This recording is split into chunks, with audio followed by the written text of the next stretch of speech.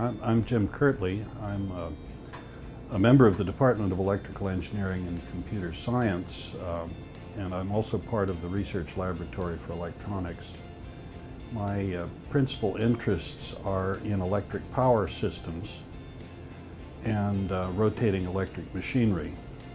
I got involved with electric power systems because my, um, my work in electric machinery um, was in very large machines, the kind of machines that are used for uh, generating power in large power plants. And of course, they connect directly to the power system. So I have now become quite interested in electric power systems. And oddly enough, at the other end of the electric power system, my principal interests are in distribution systems at the customer end of, of the whole network.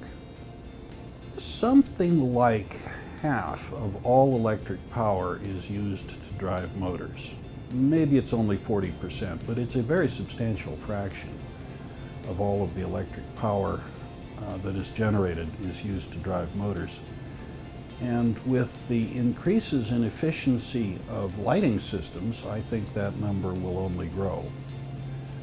Um, electric machinery is being used more widely, I, I mean motors are being used more widely in things like ships and airplanes, and of course trains and cars.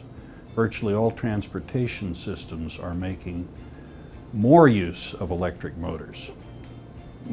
I have been involved uh, here at MIT in uh, developing motors for mobile robots and that's going to be a, a growing application for electric motors because um, they're more efficient than the hydraulic systems that uh, most people have been using uh, for robots. Uh, we have developed uh,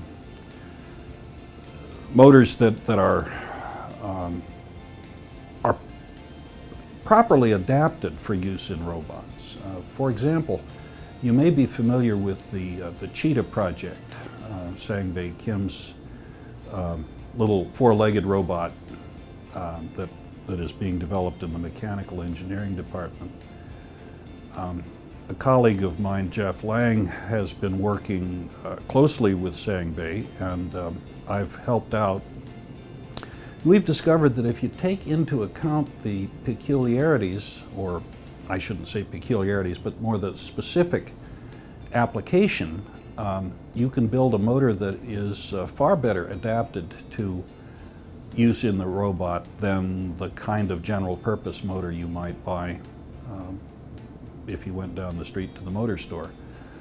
Um, because the, the um, range of, of forces that are required to be generated by that motor is very large, um, we can build a motor that um, can produce the torques that are required magnetically, even if it can't necessarily produce the forces, the forces for long periods of time. It can produce the short spikes of force that are required.